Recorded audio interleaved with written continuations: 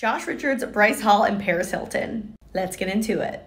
So a few weeks ago, Josh Richards posted this Instagram, him, Bryce, and Paris Hilton, which overall was just super cool and iconic to see. Like he's hanging out with Paris Hilton, that's legit. But something that's even cooler is that Paris now Instagram that picture. She posted an Instagram carousel of a bunch of these pictures, and the second one was her, Josh, and Bryce. Which, like, personally, if Paris Hilton's gonna put you number two, that's pretty awesome. And then also on Josh's picture, she commented her iconic line, that's hot. Overall, just super cool for Josh and Bryce. Also, if you want to stay up to date on all the TikTok TLT in general, pop culture, make sure to follow my Obsessed account. And feel free to follow my personal Instagram while you're at it, link in bio.